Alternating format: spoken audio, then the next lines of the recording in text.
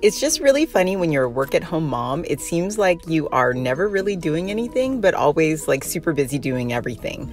So I'm just excited to share this best of 2019 video with everyone. The highest honor I received this year was being named to the list of dynamic women for 2019 by Modern Luxury Angeleno magazine. They literally wrote that I was a force for good to be reckoned with, and I just love that. I hope that ends up on my tombstone when I'm dead. this year was my first full year out of the classroom, but I just wanted to make sure that I was still engaged in the research on empowerment and education and health. And I think I did a pretty good job. So I came to this research with my own experiences, and that's the prism through which I refract everything. Um, so um, my objectivity is my objectivity, your objectivity is your objectivity. It's funny how that works.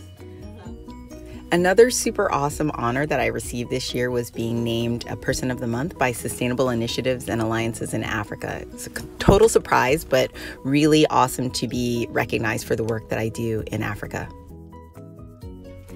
I also got some stuff set up for 2020. I'll be jet setting again. I was invited back to Yale and I was invited by the government of Ghana to share my research on empowerment and maternal health.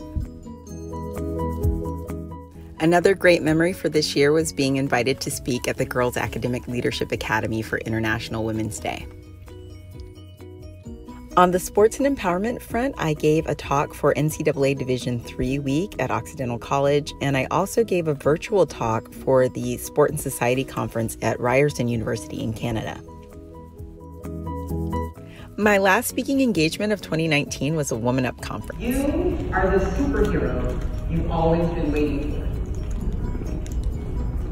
This might be good news for some of you, this might be bad news for some of you. I'm just a messenger. What's so crazy is just a couple days after giving this talk, I came down with adult chickenpox and I was bedridden and it was absolutely terrible and crazy. A good friend of mine, Jasmine Henderson, was actually part of a group of women who climbed Mount Kilimanjaro to set the Guinness World Record for playing a soccer game at the highest altitude. And she wrote a book about her experience this year, and I was honored to be asked to write the foreword for her book as well. I was interviewed by Adriana Costa on her show Local Now about my social you justice project. Two children. You are the founder of Race Class Parenting, a former professor, soccer player, yes. soccer star, I should say. I mean, you've really done it all. But today we're talking about race class parenting, yep. which is this movement you started. Yes. Tell me about it. So, race class and parenting is this marketplace of ideas for women of different ethnicities to come together and have conversations about parenting as it relates to certain social identities. There. I was also interviewed for the pilot episode of the She is Extraordinary podcast. This is the second year of the Nartey Sports Foundation that I co founded with my husband, Kofi, and my second year as the acting executive director. It was really exciting that we ended up being mentioned in the LA Times this year.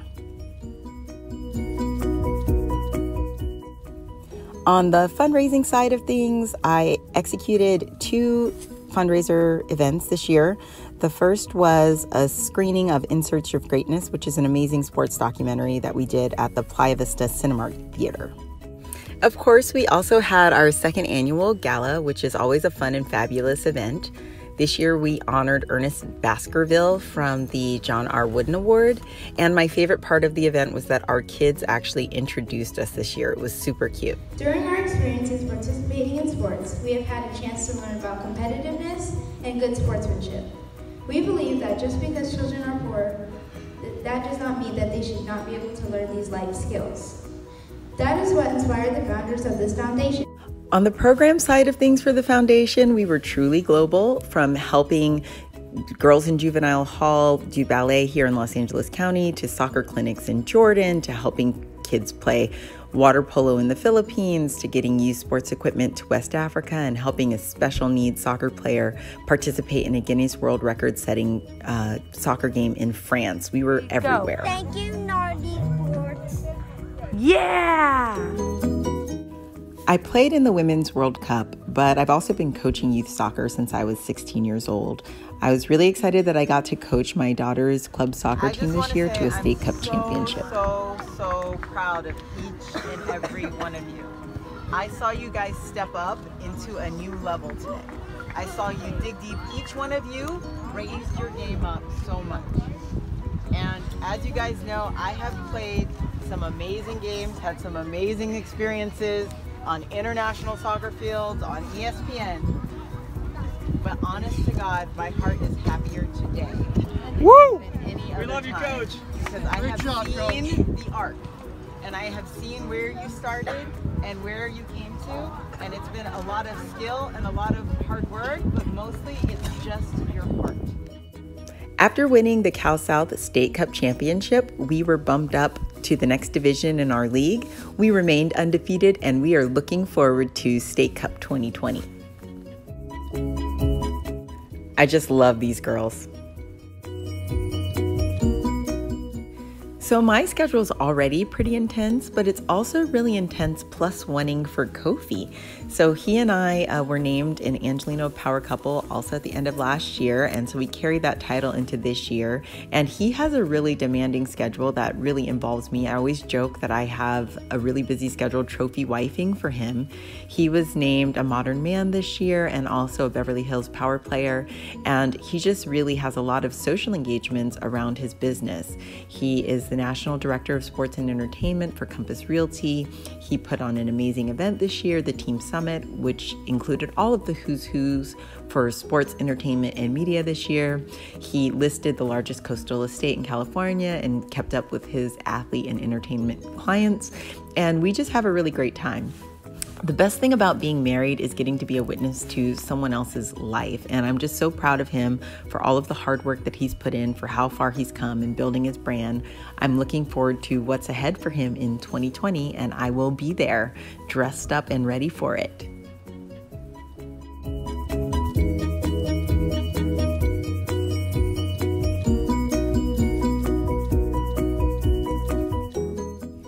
So, like two days after our fundraising gala, I was on a getaway in Vegas with my husband Kofi, and my sister's fiance uh, asked me if I could plan a surprise wedding for them when they came out. I was already planning to host her baby shower and they were going to come out, but he wanted to surprise her with a wedding. So I coordinated that in about 45 days.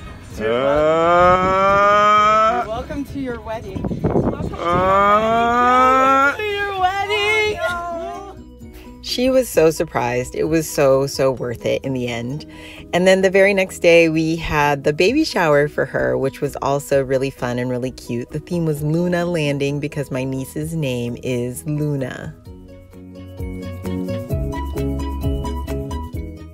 Luna was born on October 10th, and I became an auntie.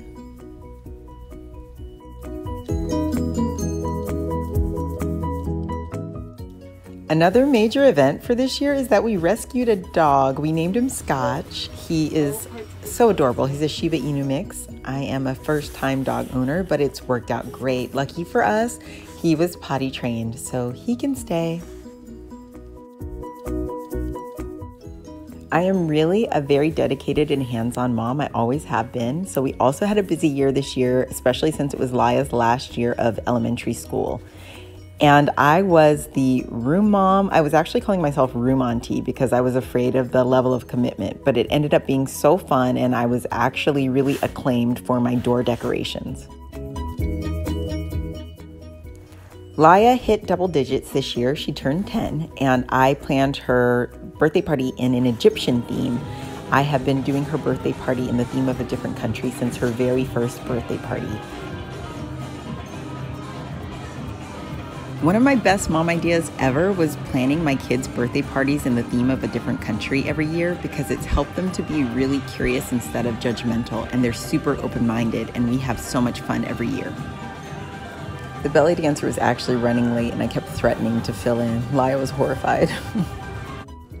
and this year was Kofi's last father daughter dance with Laya, and my first mommy son dance with Lincoln, but Lincoln was running all around. I barely got a dance. Worst day ever.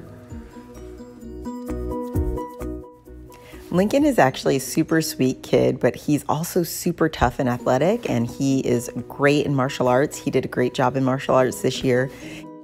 Lincoln also skipped from TK straight to first grade, and he did a great job this year. And you know, when we aren't playing soccer, we're playing soccer. So outside of our club team, Laya also tried out for and made the ID64 select team, which is kind of analogous to the ODP team. And we had a fun tournament with that group in Las Vegas this year.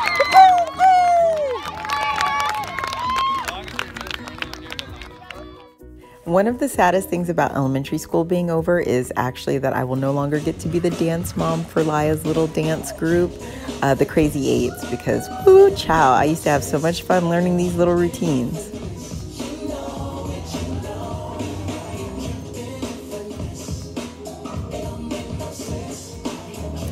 So Laya actually fractured her wrist this year at dance practice going into a back bend. I'm like, you know, you're made after me you have my body type and we don't have any business kind of trying to tumble.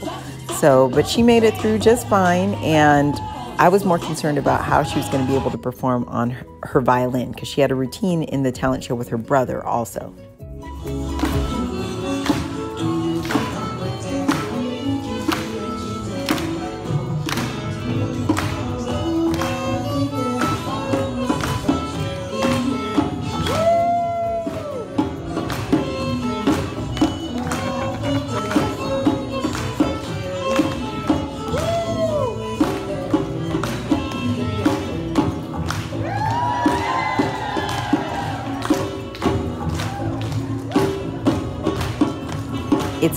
God definitely gave me two different personalities in my children.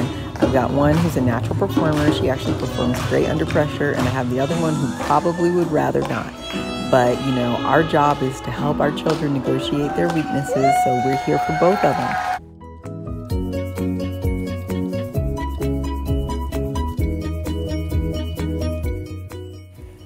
And Laya was one of the few students who was chosen to speak at her fifth grade graduation.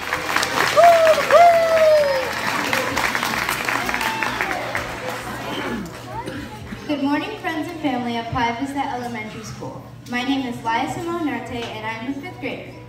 In my years at Playa Vista, I have had some very encouraging teachers and students who have inspired me to surpass expectations.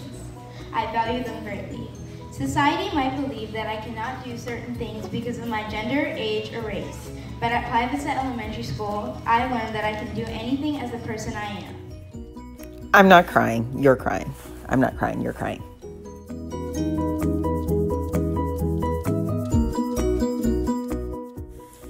This summer, the kids did a couple of camps, musical theater camp, and Laya did a nature camp, but mostly we enjoy doing Camp Mom. I take them on some different adventures over the summer, and that was fun. I made a big decision to take Laya out of traditional school this year and do a homeschool hybrid program for middle school. I'm really excited about it. I might be an alcoholic by the end of the year, but we're getting through it. She's learning a lot, and we're really bonding. Lincoln also had a really great soccer season this year. He's such a phenomenal little goal scorer, and it's a lot of fun watching him give his all with his friends. For his birthday this year, we celebrated in the theme of Italy, and of course, we had to have an opera singer.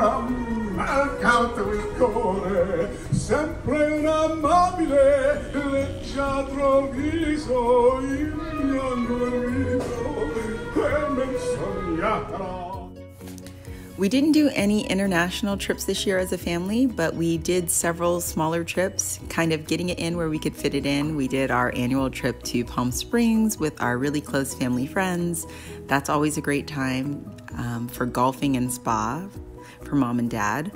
We also had a chance to go down to Indian Wells for the BNP Paribas tennis tournament to see um, friends and clients play, which was awesome. And one of my favorite trips of the year was actually going to the Redwood Forest. That was a big adventure for all of us.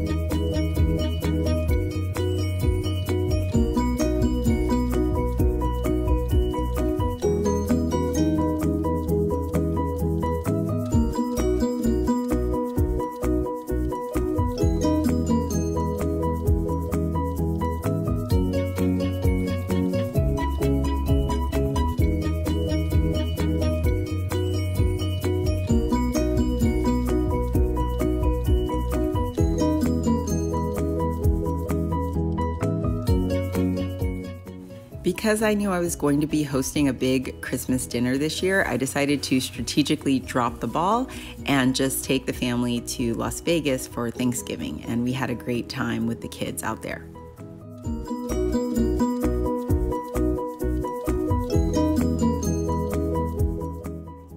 Okay, so it's the final phase of the day, which means we've already gotten up, worked out, had fun, relaxing a little bit. We went to the buffet at Aria for a beautiful Thanksgiving dinner that someone else cleaned up. And then we had dessert with client friends, beautiful property, about 18,000 square feet with city and strip views. That was lovely. Now Kofi and I are headed out for our annual tradition, which is Black Friday shopping. I'm actually obsessed with Black Friday shopping. This is something he and I have done for about a decade. So we're gonna drop the kids off uh, with my parents in their hotel room, and then he and I will probably be out all night. Every year during the holiday season, we see the LA Philharmonic at the Walt Disney Concert Hall. And this year we spent Christmas Eve in Big Bear enjoying the snow as a family before we came back and hosted a huge Christmas dinner for all of our family. We had about 21 people for Christmas dinner.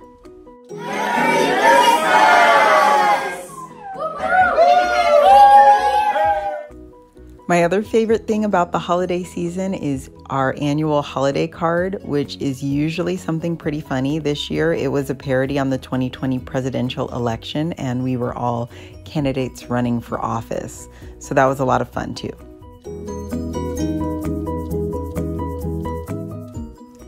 This year, I tried to pay more attention to my self care and fitness. I wanted to make sure I was getting in regular exercise and some time for myself course, I love my Zumba class, but I also did other kinds of cardio and a little bit of lifting here or there.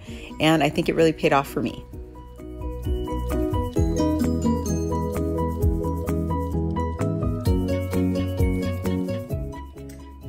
So my day did already start with me getting the chance to pray and just spend some time in spiritual reflection and um, watch just some YouTube videos uh, to kind of start my day off with the attitude of gratitude and just being reflective. Um, and that was before everybody got up. I was able to get those videos started. And now, you know, I'm trying to get some calories back. Um, we've been on vacation for a couple days. We've definitely been eating well and having a good time. Um, but I want to make sure that I keep my cardio up.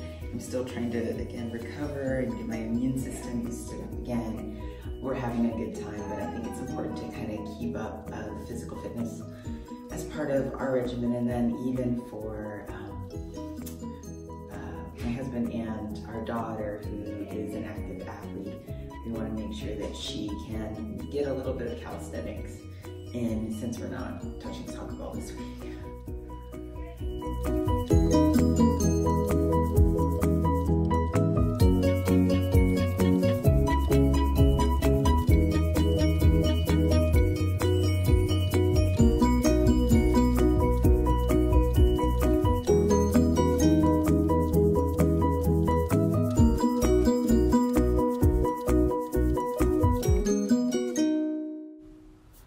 2019 was such an amazing year, and I'm so grateful. But I'm already looking ahead to 2020 and excited about what's in store. I am so excited that we are nearing the end of the year. What's been an amazing, fantastic year. So many things um, that I've been blessed to participate in and accomplish including speaking at the Woman Up Conference this year, presenting at Yale, and leading my girls soccer team to an, through an undefeated season. I am really, really excited about what's ahead for 2020. I was just named a dynamic woman by Modern Luxury Angeleno magazine. And I'm really, really excited to announce that I will be uh, producing an online course in 2020 that you can take to unlock the dynamic woman in you. So it will be all about manifesting your potential, a lot of wisdom and insight for living your best life and pursuing your ambitions and being an unapologetic force for good to be reckoned with. So look out for that. Can't wait to share more.